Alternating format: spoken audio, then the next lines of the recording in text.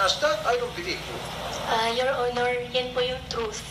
Hindi po namin pinag-uusapan po sa bahay. Medyo sensitive po yung topic po, kaya hindi po talaga namin But you're not pinag-uusapan sa interested about the history of you and your family. Well, that is very important. Nasabi ko nga, tumatakbo ka, at nasa public office ka, diba? So, in your case, hindi yung pinag-usapan.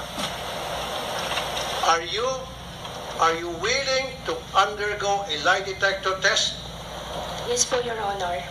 Para paiksin natin dito, ma'am, ah, Madam Chair, sa lahat ng mga sinasabi mo, especially dito sa na ikaw ay love child, na hindi, kayo, hindi pinag-usapan ng tatay mo, everything about you, everything about your past, you're willing, this is voluntary though, and hindi naman to acceptable sa korte, para dito lang, para naman to help you at the same time. Kasi kung nagsabi ka ng totoo, then it will help you na para malaman ng taong bayan na nagsasabi ka ng totoo.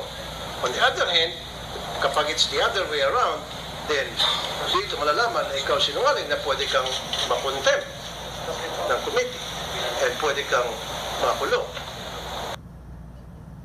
If you are Filipino and you were born here, convince us because we want to be convinced. Madam Senador, lumaki po ako sa farm. Kinulong po ako tatay ko. Paulit-ulit naman, parang memoryado nyo. Kasi kino-coach ka ng lawyers mo siguro. Nothing to be defensive about. You don't have to say the same thing. Basta sa farm po. Tell us about your. Ako sa farm. Basta tell us about your. Sa farm. Ano ba? Huwag tayong robot. Saan po? Saan pong lugar?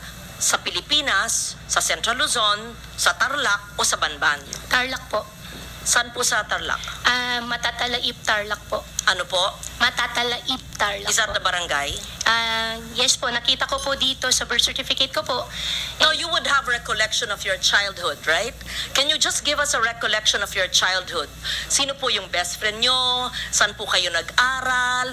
Kung meron kayong makamag-anak? Recollections of, you're, you're only 38 years old. You will remember uh, your childhood. I mean, I'm double your age, but I would remember my childhood in Malabon.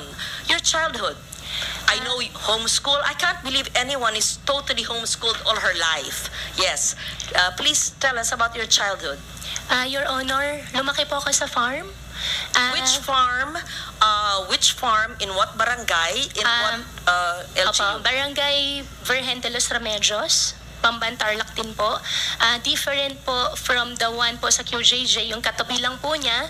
Um, nabenta po siya year 2000, hindi ko po maalala yung date kung kailan po siya nabenta. Tapos nakabili po ulit ng property po sa tabi at doon po nagtayo ulit. Ah, lumaki po ako sa farm your honor. Tinago po ako ng tatay ko po. Ah, lumaki po ako na, ako lang po. Pinupuntahan po ako ng tatay ko po araw-araw. Lumaki kayo mag-isa.